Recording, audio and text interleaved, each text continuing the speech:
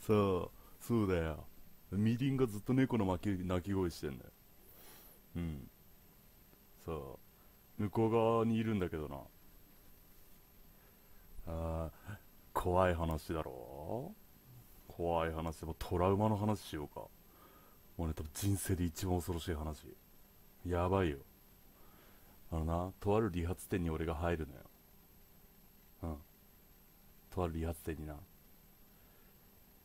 そこの理髪店でまあ髪の毛切ってもらう前だったか多分切ってもらった後だったかにさシャンプーするんでさまあガーって倒されてさね。そこでガーって倒されて頭で洗われるわけね。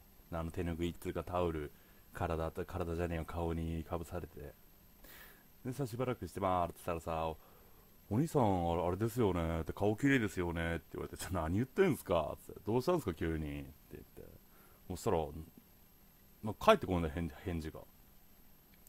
彼女さんとかいるでしょって。絶対いるでしょうって。いやもういたらこんな苦労しないっすよって。